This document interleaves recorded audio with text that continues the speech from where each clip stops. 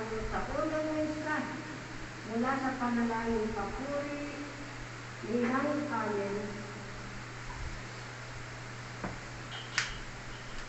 Ni Nang Nen, interpretasyon ni Inong Puri.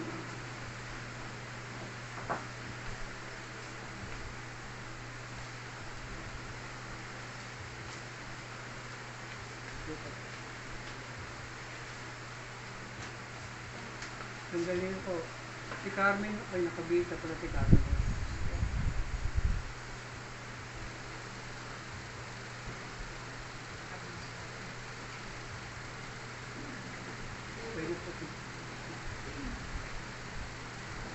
Hallelujah.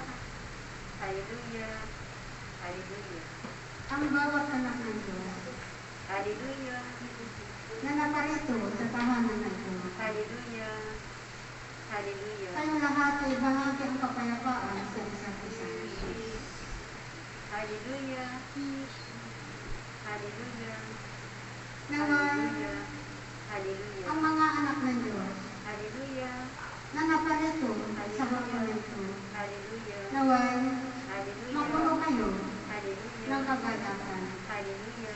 sapagkat ang Diyos Hallelujah. na tumawag at Hallelujah. lumira sa inyo Hallelujah. pumupuno ng kapayapaan. Hallelujah. Kaya Hallelujah. maramot lamang Hallelujah. ng mga lingkod ng Diyos Hallelujah. ay laging puno Hallelujah. ng kapayapaan Hallelujah. at kagalakan. Hallelujah. Maraming salamat sa inyo, aking mga anak, sa inyong pagparito sa kahanan na ito, Hallelujah. upang kayo ay Hallelujah. muling makipagtupan sa Diyos, Hallelujah. upang makinig Hallelujah. sa amin Hallelujah. mga. Hallelujah. Tunay nga Hallelujah. Na ang Diyos ay napakabuti niya, sapagkat ang kanyang mga lingkod na kanyang mga pinili at hiniram sa kawan na ito Hallelujah. ay patuloy na nagpupuri at nagpapasalamat sa Diyos. Hallelujah. Bilang pagpupuri sa Diyos, ito. Ang antimpala na pinagkakaloob ng Diyos sa kanyang mga. Hallelujah. sapagkat mayroon pang lakas ang kanyang mga lingkod upang ialay ang kanilang mga sarili, ang kanilang buhay, upang ang Diyos ay kanilang. Purihin, sambahin, at patuloy na paglingkuran. Kaya ang bawat lingkod na Hallelujah. pinilat pinirang ng Diyos ay nararapat lamang na laging magpasalamat sa Diyos sapagkat patuloy na tinatanggap at patuloy na pinagkakalob ng Diyos Hallelujah. ang kalakasan ng kanyang mga pinili at hinirang na lingkod. Magpasalamat tayo sa Diyos, aking mga anak, sapagkat patuloy ninyong nagagamit ang inyong lakas, patuloy ninyong nagagamit ang inyong buhay na pinahiram ng Diyos sa inyo upang ang Diyos na tumawag at humirang sa inyo ay inyong mapagkukuran. Maraming salamat sa ating mga anak sapagkat patuloy ninyo iaalay ang inyong mga oras at panahon.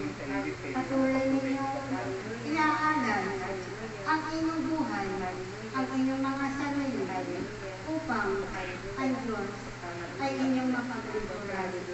Kayo nga ay mga tulan na lingkod ng Diyos sapagkat kayo ay patuloy na sumusunod sa kalooban ng Diyos. Mapalad kayo, aking mga anak, sapagkat patuloy kayo nakakasunod sa kalooban ng Diyos at patuloy kayo nakakatupad sa kanyang mga ipinapupunto.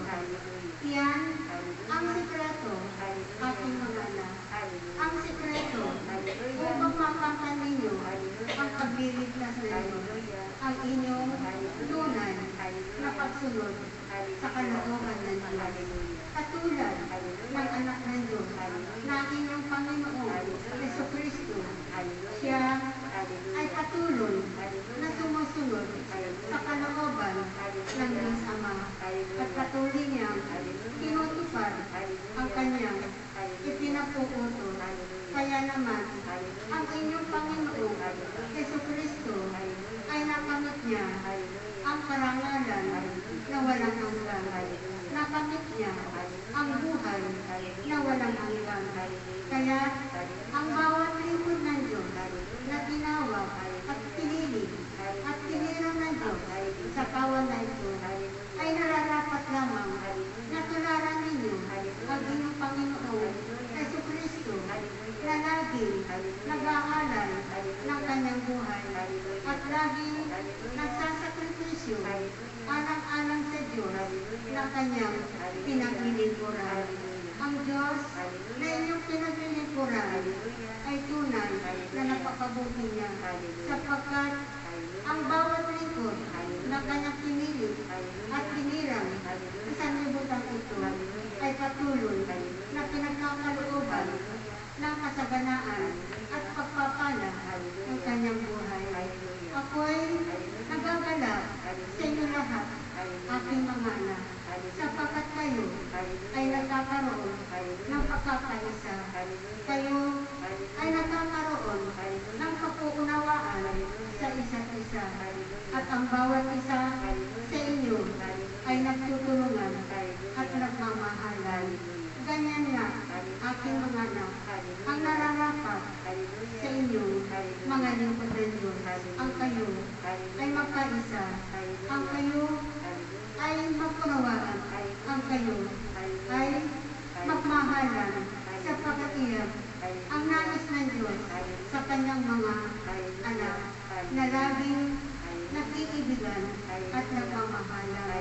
Nararapat lamang na kayo lahat ay makibigan at makunawan aking mga anak sapagkat kung kayo ay nagkakaisa, kung kayo ay nagkakagawaan, ang bawat isa ay mapupuno ng kapayapaan at kagalakan sa kanyang buhay.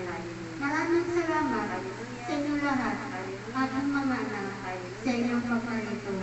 Ako, ang inyong Panginoong Espiritu Santo, na siya ninyong gabay at patnubay sa inyong mga buhay. Ako, ang Espiritu ng Diyos, ang laging nagsasabi sa inyo ng katotohanan. Kaya nararapat lamang na ang mga lingkod ng Diyos ay maging totoo sa harapan ng Diyos. Maging totoo sa salita, sa wika, at sa gawa. Maraming salamat sa inyo lahat, aking mga anak.